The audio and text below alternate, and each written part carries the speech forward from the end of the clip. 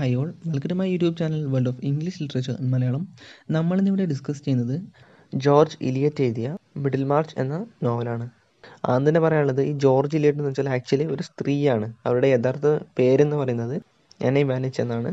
അവരെന്തിനാണ് ഒരു മെയിലിന്റെ അല്ലെങ്കിൽ ജോർജ് എലിയറ്റ്സ് എന്ന പെൻ നെയിം സ്വീകരിച്ച എന്താന്ന് എന്തിനാന്ന് വെച്ചാൽ ഓക്കെ ആ ടൈമിലെ സൊസൈറ്റി കണക്കാക്കുന്നത് സ്ത്രീകൾക്ക് ഒരിക്കലും ഒരു നല്ല രീതിയിലുള്ള വർക്ക് എഴുതാൻ കഴിയില്ല. അവർക്ക് എപ്പോഴും ഒരു നോർമലായിട്ട് അല്ലെങ്കിൽ ബിലോ അവർ ആവറേജ് ആവറേജ് ആയിട്ടുള്ള വർക്ക്സ് മാത്രമേ എഴുതാൻ കഴിയൂ എന്നായിരുന്നു അവരുടെ വിശ്വാസം.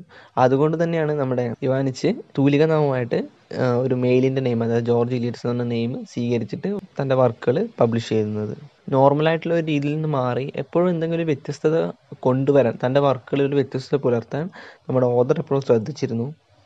ഇനി നമ്മൾ മിഡിൽ മാർച്ചിലേക്ക് അടുക്കുകയാണെങ്കിൽ അതായത് ആയിരത്തി എണ്ണൂറ്റി എഴുപത്തി ഒന്നിനും അതുപോലെ തന്നെ എഴുപത്തി രണ്ടിനും ഇടയിലായിട്ട് എയ്റ്റ് വോളിയൂംസിലായിട്ടാണ് ഈ നോവൽ പ്രസിദ്ധീകരിച്ചത്.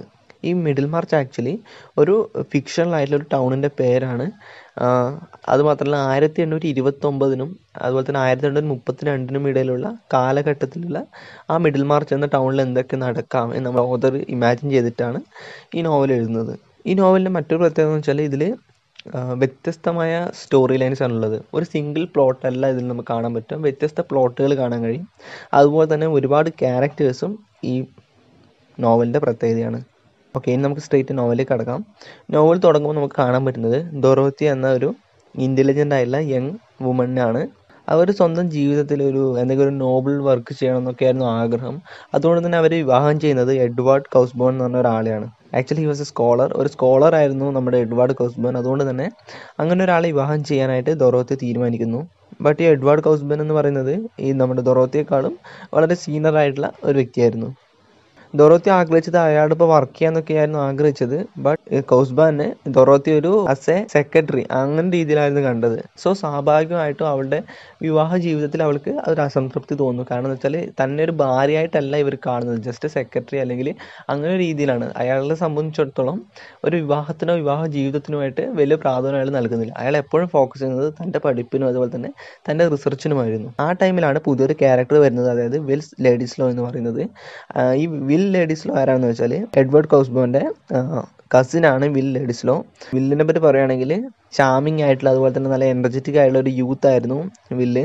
ഈ വില്ലിന്റെ വരവോട് കൂടിയിട്ട് ടൊറോത്തിയും അതുപോലെ തന്നെ വില്ലും തമ്മിൽ ഒരു ഫ്രണ്ട്ഷിപ്പ് ഡെവലപ്പ് ചെയ്യുന്നുണ്ട്. അങ്ങനെ എനിക്ക് ഒരു ദിവസമാണ് കൗസ്ബോൺ ഹാർട്ട് അറ്റാക്ക് ആവുന്നത്. ഹാർട്ട് അറ്റാക്ക് വന്നിട്ട് അവർ കിടപ്പിലായി.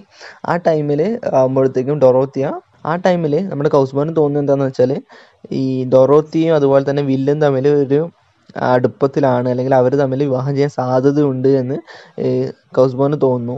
അതുകൊണ്ട് തന്നെ വില്യനോട് തന്റെ വീട്ടിലേക്ക് വരാൻ പാടില്ല എന്നൊക്കെ കൗസ്ബോ വിലക്കുന്നുണ്ട്. അതിനോടൊപ്പം കൗസ്ബോൻ എന്താ ചെയ്യുന്നത് വെച്ചാൽ ഒരു വിൽപ്പത്തം തയ്യാറാക്കി വെക്കും. ആ വിൽപ്പത്രത്തിൽ എന്താ പറയുന്നത് വെച്ചാൽ തന്റെ മരണശേഷം തന്റെ ഭാര്യ ഈ വില്ലിനോടൊപ്പം പോവുകയാണെങ്കിൽ വില്ലിനെ വിവാഹം കഴിക്കാൻ തയ്യാറാവുകയാണെങ്കിൽ തന്റെ എന്റെ സ്വത്തിന്റെ അവകാശം അവൾക്ക് ലഭിക്കില്ല എന്ന് ഒരു വിൽപ്പത്രം തയ്യാറാക്കി വയ്ക്കുന്നു അതുമാത്രമല്ല കൗസ്ബാൻ ഇവളുടെ നിന്ന് ഒരു പ്രോമിസ് വാങ്ങുന്നുണ്ട്. അതായത് ഞാൻ മരിച്ചാലും നീ വേറെ വിവാഹം ചെയ്തെന്നൊക്കെ പറഞ്ഞ് പ്രോമിസ് വാങ്ങുന്നുണ്ട്. പക്ഷേ ഇവൾ ആദ്യമൊക്കെ അത് പറ്റില്ല അതിന് കഴിയില്ല എന്നൊക്കെ പറയുന്നുണ്ട്.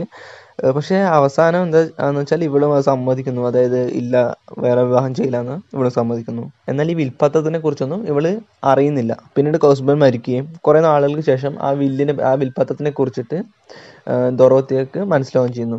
അപ്പോഴാണ് അവർ ശരിക്കും ആലോചിച്ചത് അല്ലെങ്കിൽ ചിന്തിച്ചത് ഈ വില്ലുമായിട്ട് എനിക്ക് ഫ്രണ്ട്ഷിപ്പിൽ ഉപരി എന്തോ ഉണ്ട് എന്ന്. ആക്ച്വലി ആ വിൽപ്പത്തം കണ്ടതിന് ശേഷമാണ് ശരിക്കും പറഞ്ഞാൽ അവർ നമ്മളെ ലവ് സ്ട്രോങ് ആവുന്നതെന്ന് വേണം പറയാം. എന്നാൽ ആ സ്വത്തുക്കൾ ഭയന്നിട്ട് ദൊറോത്തിയും അതുപോലെ തന്നെ വില്ലും കൂടിയിട്ട് വേറെ വേറെ നിന്നുവെങ്കിൽ പോലും എന്നാൽ അത് അധിക നാൾ നീണ്ടു നിർത്താനായിട്ട് അവർക്ക് പറ്റിയില്ല.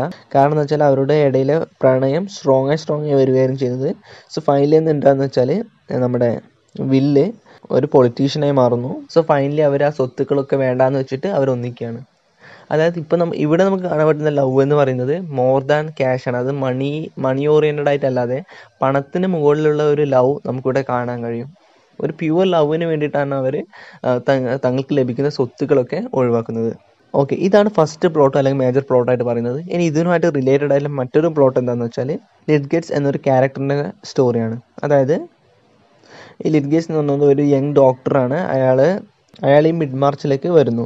പക്ഷേ അയാൾക്ക് തന്റെ മെഡിസിൻ അല്ലെങ്കിൽ തന്റെ ഈ ജോബ് നല്ല സക്സസ്ഫുൾ ആയി നടത്താൻ പറ്റുന്നില്ല പ്രത്യേകിച്ച് മിഡിൽ മാർച്ചിൽ അതിന് കാരണം എന്ന് വെച്ചാൽ ഒന്നാമത് മിഡിൽ മാർച്ചിലെ ആൾക്കാർ ഈ സ്ട്രേഞ്ചേഴ്സിന് അതായത് പുറത്തു നിന്ന് മിഡിൽ മാർച്ചിന് പുറത്തു നിന്ന് വരുന്ന ആൾക്കാരെ അത്ര പെട്ടെന്നൊന്നും വിശ്വസിക്കില്ല. അതുകൊണ്ട് തന്നെ ലെഡ് ഗേറ്റ്സിന് പ്രതീക്ഷിച്ച അത്ര വിജയം ഫസ്റ്റ് ഒന്നും ലഭിക്കുന്നില്ല.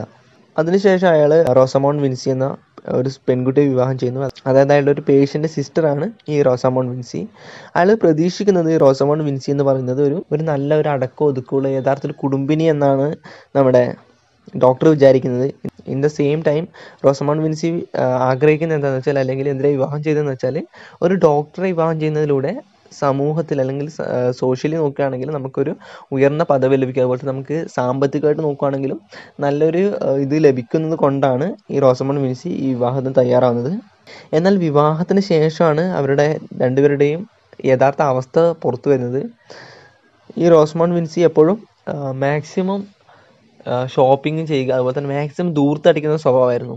അതുകൊണ്ട് തന്നെ പതുക്കെ പതുക്കെ ഈ നമ്മുടെ ഡോക്ടറുടെ വെൽത്തൊക്കെ കുറഞ്ഞു കുറഞ്ഞു വരുന്നു. അത് അത് മാത്രമല്ല ഈ ഡോക്ടർ മറ്റു സ്ഥലങ്ങളിൽ കടം വാങ്ങേണ്ട അവസ്ഥ കൂടി വരുന്നു. അപ്പോഴാണ് ഡോക്ടർക്ക് മനസ്സിലായത് ഒരു ഒരു പെൺകുട്ടി പുറമേ ബ്യൂട്ടിഫുൾ ആണെങ്കിൽ പോലും അവളുടെ ഉള്ള എങ്ങനെയാണ് നമുക്ക് കണ്ടെത്താൻ കഴിയില്ല എന്നൊക്കെ ഡോക്ടർ ആ ടൈമാണ് മനസ്സിലാവുന്നത്.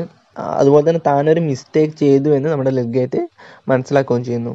എന്നാൽ അവൾ എന്ത് വിചാരിക്കുമെന്ന് കരുതിയതുകൊണ്ട് തന്നെ നമ്മൾ ഡോക്ടർ അത്ര കർശനമായിട്ടൊന്നും അവളോട് കാര്യങ്ങൾ പറയുന്നില്ല.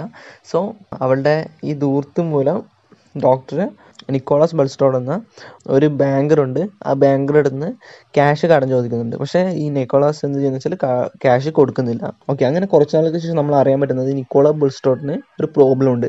ആ പ്രോബ്ലം എന്താണെന്ന് വെച്ചാൽ ജോൺ റാഫൽസ് എന്ന ആൾ ഈ ബുൾസ്റ്റോണിനെ എപ്പോഴും ബ്ലാക്ക് മെയിൽ ചെയ്യുന്നു. എന്ത് പറഞ്ഞിട്ടാണ് ബ്ലാക്ക് മെയിൽ ചെയ്യുന്നത് വെച്ചാൽ ഈ ബുൾസ്റ്റോണിന്റെ പാസ്റ്റ് ഈ ജോൺ റാഫേൽസിന് അറിയാമായിരുന്നു. അതായത് അൺസേവ്ഡ് ആയിട്ടുള്ള ഒരു പാസ്റ്റ് നമ്മുടെ ബുൾസ്റ്റോൺ ഉണ്ടായിരുന്നു അതുകൊണ്ട് തന്നെ അത് പുറത്ത് പറയും. അങ്ങനെ ഒരു പറഞ്ഞിട്ട് ഭീഷണിപ്പെടുത്തിയിട്ട് ക്യാഷ് അതുപോലെ തന്നെ ബ്ലാക്ക് മെയിൽ ചെയ്യാണ് ജോൺ റാഫേൽ എന്ന് പറഞ്ഞ വ്യക്തി. അതുകൊണ്ട് തന്നെ ബുൾസ്റ്റോണിന് മാനസികമായിട്ട് നല്ല സമ്മർദ്ദം ഉണ്ടായിരുന്നു. കാരണം എന്ന് വെച്ചാൽ എന്ത് ചെയ്യണമെന്ന് അറിയില്ല. ജോൺ റാഫേൽ എപ്പോഴും ബ്ലാക്ക് മെയിൽ ചെയ്യുന്ന ഒരവസ്ഥയും കാണുന്നു. അങ്ങനെ ഇരിക്കും ഒരു ദിവസമാണ് ഈ റാഫേൽ രോഗം ബാധിച്ചിട്ട് കിടപ്പിലാവുന്നത്. ഈ ബുൾസ്റ്റോഡ് കരുതുന്നത് ഇതാണ് തനിക്ക് പറ്റിയ ഏറ്റവും കറക്റ്റായ ഒരു അവസരം എന്ന് അല്ലെങ്കിൽ ഇതിനേക്കാൾ നല്ലൊരു അവസരം ലഭിക്കില്ല എന്ന് മനസ്സിലാവുന്നു. അയാൾ വേഗം നമ്മുടെ ലിഡ്ഗേനെ കാണുന്നത് ഡോക്ടർ ലിഡ്ഗേനെ കാണുന്നു. എന്നിട്ട് എന്നിട്ട് ഈ കാര്യങ്ങളൊക്കെ പറഞ്ഞിട്ട് പറയുകയാണ് എനിക്ക് ഇങ്ങനൊരു പ്രശ്നമുണ്ട്. അതുപോലെ തന്നെ റാഫേൽസിന്റെ മരണത്തിന് അതായത് റാഫേൽസിനെ എങ്ങനെയെങ്കിലും മരണത്തിലേക്ക് നിങ്ങൾ തള്ളി പിടിക്കുകയാണെങ്കിൽ നിങ്ങൾക്ക് വേണ്ടത് എന്ത് വേണം തരാമെന്ന് പറയുന്നു. പക്ഷെ ആദ്യമൊന്നും ഡോക്ടർ സമ്മതിക്കുന്നില്ല. പിന്നീട് മുമ്പൊരിക്കൽ കടം ചോദിച്ചെന്ന് പറഞ്ഞില്ലേ അത് അതൊക്കെ തിരിച്ച് അത് തരാമെന്നും വെറുതെ തരാമെന്നൊക്കെ പറയുന്നു. ലൈക്ക് ബ്രൈബ് എന്ന രീതിയിൽ കുറേ ക്യാഷ് തരാമെന്നൊക്കെ പറയുമ്പോൾ ലാസ്റ്റ് ഡോക്ടർ സമ്മതിക്കുന്നു. അങ്ങനെ സ്ലോലി മെഡിസിനൊക്കെ കുറച്ച് അങ്ങനെ അങ്ങനെ പതുക്കെ പതുക്കെ റാഫേൽ മരിക്കുന്നു.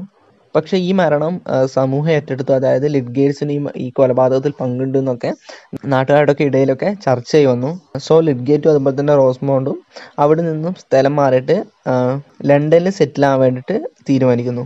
പിന്നീട് അവരുടെ നല്ല വെൽത്തി ആയിട്ടുള്ള ജീവിതം കാണാൻ കഴിയും. കാരണം ഒരുപാട് ക്യാഷ് ഒക്കെ ആയതുകൊണ്ട് ഒരു വെൽത്തി ലൈഫ് സ്റ്റൈലാണ് നയിക്കുന്നത്. പക്ഷേ നമ്മുടെ ലിഡ്ഗേറ്റിന് അതായത് ഡോക്ടർക്ക് അധികം നാൾ ആയുസ് ഉണ്ടായിരുന്നില്ല തന്റെ അമ്പതാമത്തെ വയസ്സിൽ അയാൾ മരിക്കുകയും ചെയ്യുന്നു.